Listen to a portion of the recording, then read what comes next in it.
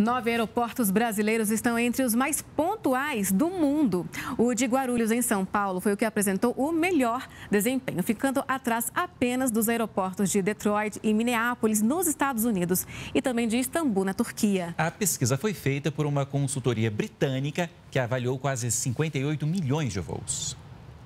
De malas prontas, esta família paulistana está saindo de férias para o Ceará.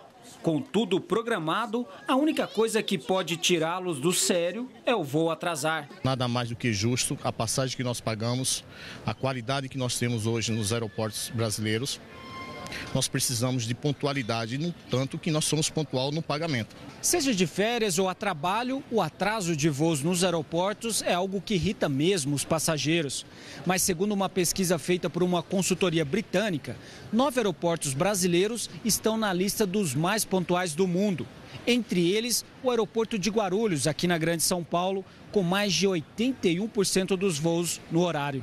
Também tiveram destaque no grupo de aeroportos com grande volume de partidas Brasília e Congonhas em São Paulo, Recife em Pernambuco, Galeão no Rio de Janeiro, Belo Horizonte em Minas Gerais e Santos Dumont, também na capital fluminense, aparece entre os mais pontuais da categoria médio.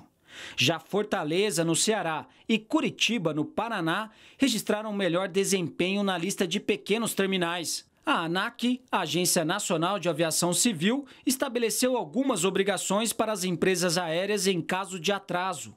Entre elas, oferecer gratuitamente, de acordo com o tempo de espera, assistência material, como internet e alimentação, além de manter o passageiro informado a cada 30 minutos quanto à previsão de partida dos voos.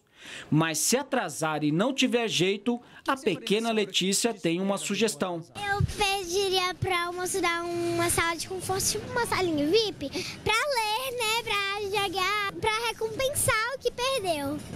Mais ou menos isso.